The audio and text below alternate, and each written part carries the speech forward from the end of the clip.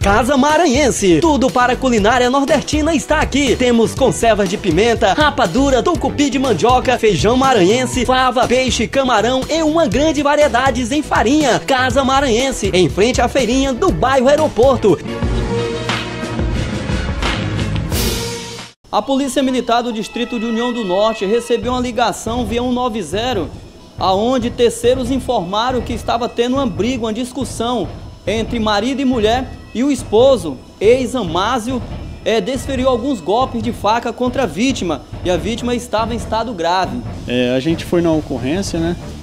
Onde a senhora, né, foi conduzida para o PSF 07 e estava com ferimentos no tórax, no braço, nas pernas.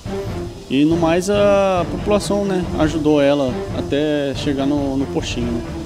E a Polícia Militar fez algumas rondas no intuito de encontrar o mesmo, mas até o exato momento ele está foragido. Qualquer informação ligar no 190. Isso, corretamente. No momento ele está foragido, né? Mas a princípio, né, a guarnição fez rondas no, no local, mas até então não, não conseguiu êxito.